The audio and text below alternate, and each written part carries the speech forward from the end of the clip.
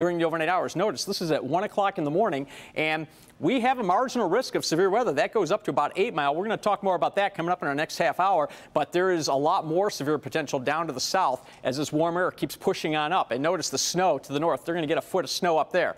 All right, tomorrow morning, a lot of the storminess is going to be off to the east.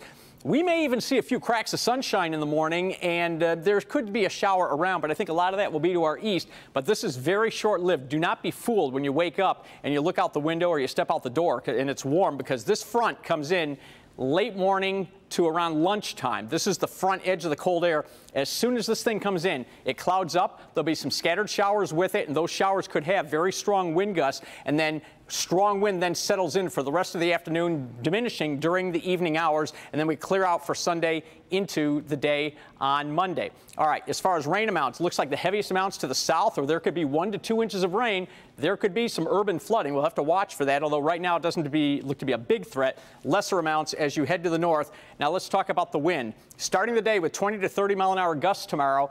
Then you see once that front comes in, gusts between 40 and 50 miles per hour guaranteed. Some areas are going to hit 50 miles per hour, maybe even 55 to 60 up in the northern thumb. And then you can see how quickly those gusts start to subside during the Saturday evening hours. And then real quick, starting in the 50s to near 60, look at this. As that front comes through, near 60 on the east side in spots, already in the 40s back to the west. By the end of the afternoon, we are in the 30s. So there's a lot that's going to change over the next 24 hours. So rising into the upper 50s tonight with those rain uh, showers and those storms. And then tomorrow, starting in the upper 50s, dropping through the 30s. The strong strongest gusts late morning into the early afternoon. Then lots of sunshine Sunday and Monday. Still breezy on Sunday, but still 40s are not too bad. And then back into the 50s by the middle of next week. And we could have another batch of this wind coming in next Thursday as well, guys. Okay. Paul, thank you.